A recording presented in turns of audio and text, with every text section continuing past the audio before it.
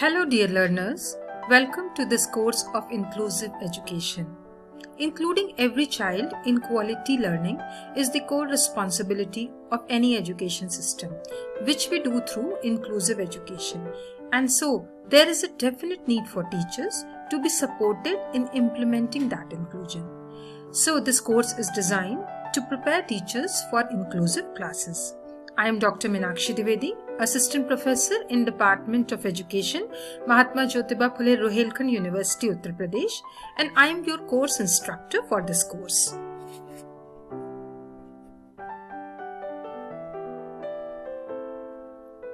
In this course, we will explore the various aspects of inclusive education. Dear learners, the focus in this course is to make you understand the concept of inclusive education the course will enable you to teach in a more comprehensive way by using the principles of inclusive education. Our focus will be on preparing you to use the different models of inclusive education in your classes.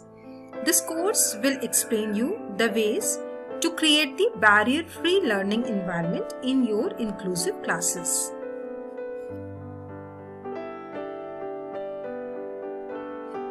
Dear learners, the expected learning outcomes for this course are to help you in demonstrating your knowledge about inclusive education.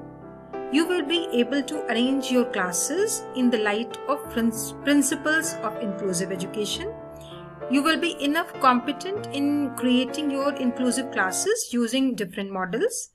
You as a teacher will be able to design a barrier-free inclusive class for your learners. Let's see the course structure of the course. The course covers the four major topics. The first one is the concept of inclusive education. The second is the principles of inclusive education. Third is the models of inclusive education. And the last one is the barriers in inclusive education. As far as the course duration is concerned, this course is of 2 weeks duration and each week requires your 2 to 3 hours of active engagement. You can do it in as many sittings as you want, but it is suggested that complete at least one component of one topic in one sitting. Each topic of the course contains e-text to read some YouTube videos to watch. There will be the discussion forums to discuss your doubts. Some activities based tasks will be also given to you which you need to perform. There will be some quizzes provided after each topic which you need to participate in. As far as the assessment procedure is concerned, it will consist of two parameters. First is the assignment and second one is the quizzes. Your final grades will be based on the performance in assignments and quizzes together. After the successful completion of the course with at least 60%, the certificate will be awarded to you.